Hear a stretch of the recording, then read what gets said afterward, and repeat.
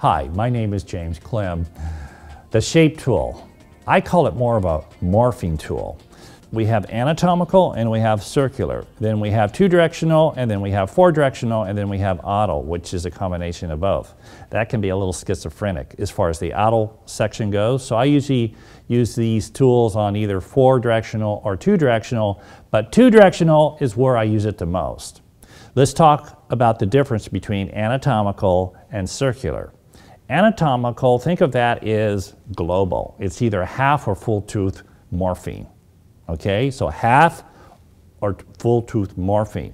Now, the circular is more petite. Now, you can still move a lot of wax and morph a lot of wax shapes with the circular, but you have the paintbrush size option as you would see in the form tool.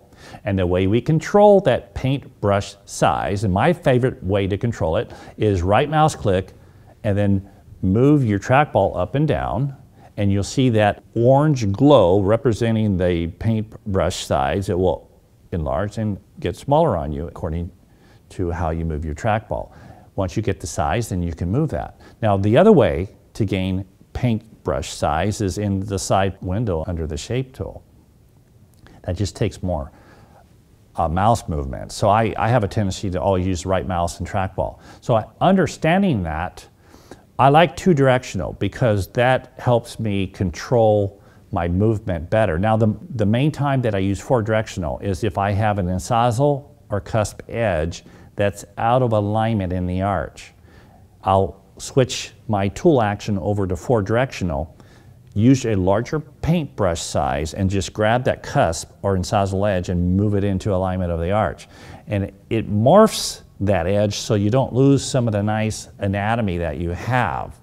Um, if you use the form tool, then you're, you're doing some major waxing and then that's going to take longer to finish. So the value of the shape tool is that it's a morphing tool. It will preserve the morphology that you have in your teeth. It just kind of realigns and feathers and blends everything in. I think it's an incredible tool and it's good to know how to use it. Now, with the auto action would basically be when you're over the height of contour, I'll say this carefully because it gets a little confusing, but when you're over the height of contour with the direction of the restoration on the screen, when it's on the equator or the height of contour of the tooth or below the equator, height of contour of the tooth, then it becomes two directional.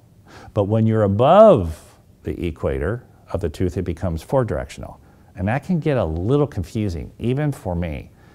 And remember, I'm a simple guy. I don't like things too complicated, but I find that the two directional tool works really well. And I toggle between that tool and the form tool using my paintbrush size. That's how I use most of my tool actions. The most important thing is use your mouse and trackball to speed up your your process. You don't always have to go to the side panel. For instance, we can call on the tool wheel by just the right mouse click. And that, that will automatically bring up the tool wheel rather than going over to the side panel. So just think in those terms. Once those become habits, then it's a lot faster in the software. I don't, I don't like to spend more than two or three minutes designing my restorations and then I'm on to the milling process. So the software will do that for us now.